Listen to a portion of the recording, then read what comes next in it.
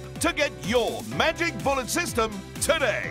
The preceding was a paid presentation for the Magic Bullet, brought to you by High Street TV.